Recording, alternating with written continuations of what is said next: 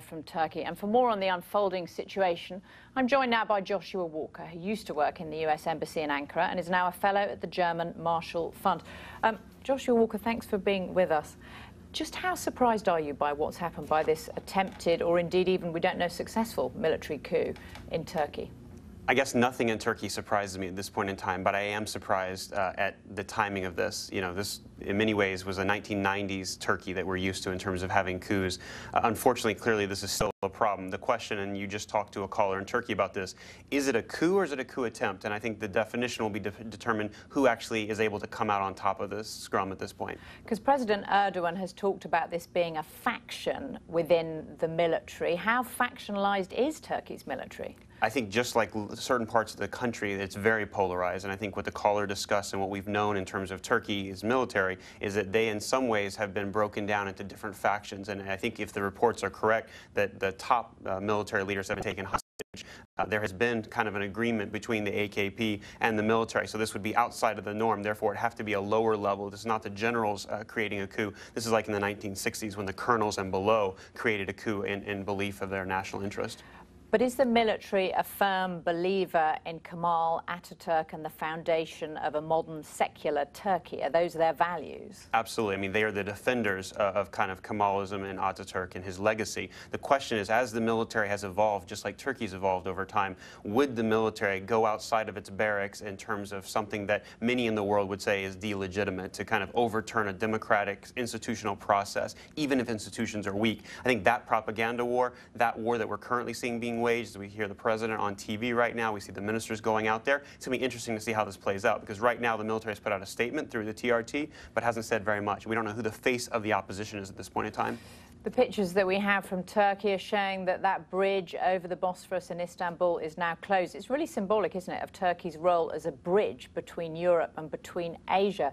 Just how threatening is this to global security at this worrying time, the fact that Turkey is undergoing a coup? I would actually argue this is even more uh, threatening and, and dangerous than a military or a terrorist attack as we've seen. The last time we talked, it was about the Istanbul airport attack. Now all the airports are closed. The two bridges that go between Asia and Europe are closed. If there's instability of this type where Turkey has to focus inwardly, we can't even begin to talk about the crisis in Syria or Iraq, the places that we need Turkey as a critical NATO ally to help not just the United States, but the entire world community creates stability and economic progress. What would it be that a faction within the military so objects to in President Erdogan and his government?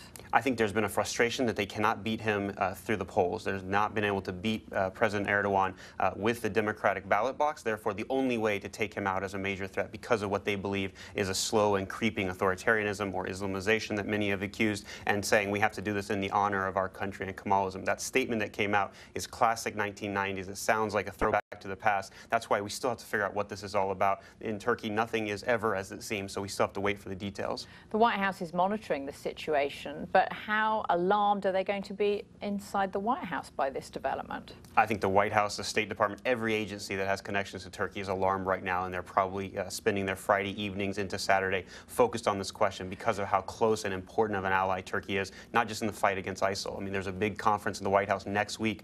The Turkish foreign minister is supposed to be here. Will he be able to travel because all the airports are closed? Who will who emerge as the kind of legitimate government of Turkey? Presumably, if the coup is successful, Turkey's military wants to be a strong partner in NATO? Does it even want an increased role in the fight against Islamic State? Did it have a quarrel with President Erdogan there over him being accused of turning really a blind eye to ISIS going across the border into Syria? I mean, the dangerous part about this is there are arguments you can make and say, well, actually, the Turkish military during the Cold War was actually America and the West's strongest ally. Erdogan and, and kind of democratic Turkey has been difficult to deal with. But I think before we can even get to those arguments, we need to focus on our values and principles. And military coups are not part of that value and principle Unfortunately, they have been in the Middle East. Turkey traditionally has been considered part of Europe. And so that discussion between the bridge that we talked about going from Asia to Europe, are we going to treat it like another Middle Eastern uh, country or is it a European democracy? If this happened in the western heart of Europe, what would our response be and how do we judge ourselves accordingly? President Erdogan has called for people to protest against the attempted coup attempt to go onto the streets. I mean, how popular is he? Would you expect that people would heed that call? Absolutely. President Erdogan is extremely popular. He's very polarizing as well, but when he calls out his legions of supporters, this could get ugly very quickly in the, in the sense that his supporters in certain, pockets of the city, not just in Istanbul, but in the heart of, of Ankara and the hearts of Anatolia, will come out and try to resist civil arrest or whatever else it takes. And particularly if the military is not unified in this attempt, if there is a mutiny within the ranks, this is going to make it even more difficult to see how either Erdogan or the military attempt is able to, to be successful, and a lot of lives will be lost in the meantime. Joshua, just how much is at stake here tonight?